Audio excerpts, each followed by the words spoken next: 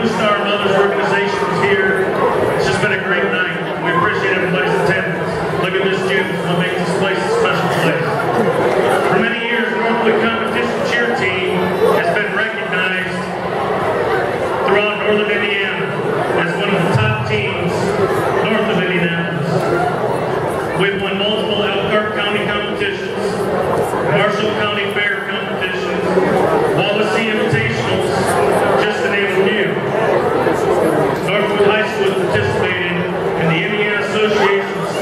schools state competition since its inception.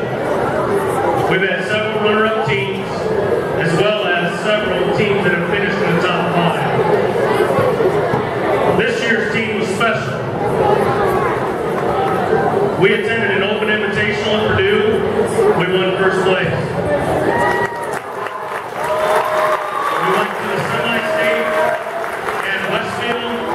We won first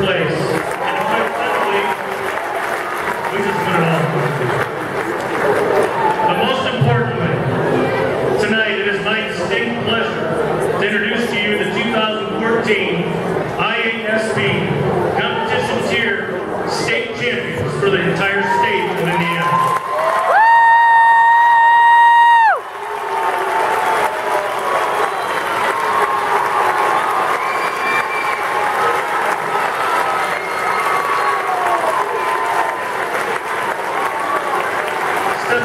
Thank you.